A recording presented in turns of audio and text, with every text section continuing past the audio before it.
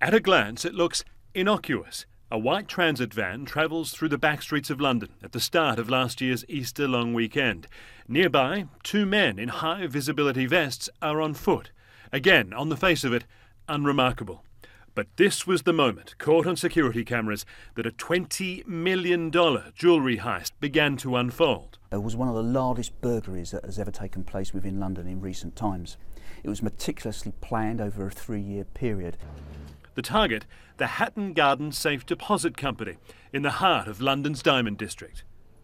This video shows how the gang of thieves used a fire escape to come and go from the building over a period of three days, careful to hide their faces from the camera.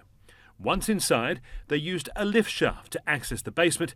They cut through metal bars and drilled through a thick concrete wall to climb into the vault, where they raided dozens of boxes containing precious stones and valuables. The thieves casually loaded two wheelie bins into the transit van and drove away, leaving little forensic evidence.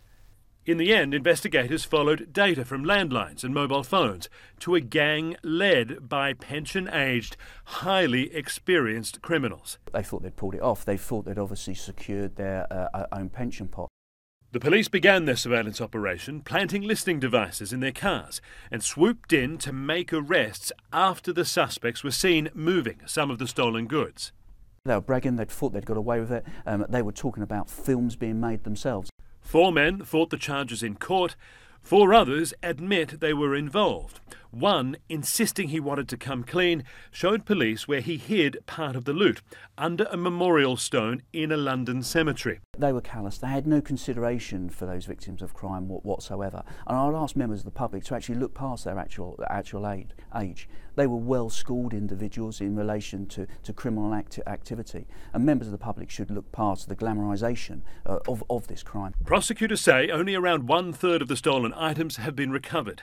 Around $14 million worth is still missing.